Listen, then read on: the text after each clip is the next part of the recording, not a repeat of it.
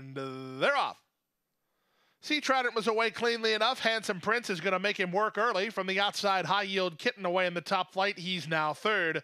Two back to Boldness, then King Cairo, and Mr. Tito's is last.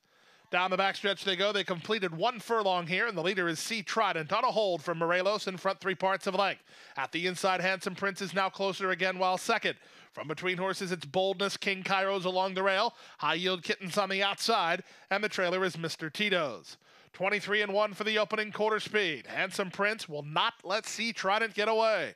They're shoulder to shoulder with half a mile to go. High Yield Kitten up on the outside is now third from King Cairo, who's at the rail fourth. Then Boldness and Mr. Tito's.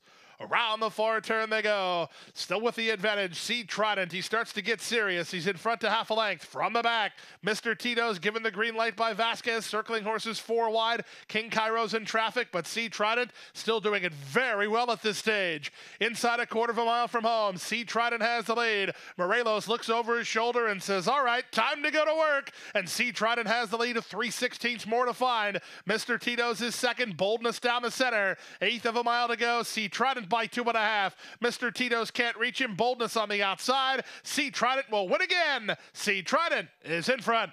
Mr. Tito's is second. Boldness is third. Closer fourth. Either King Cairo or High Yield Kitten. 123 and 3.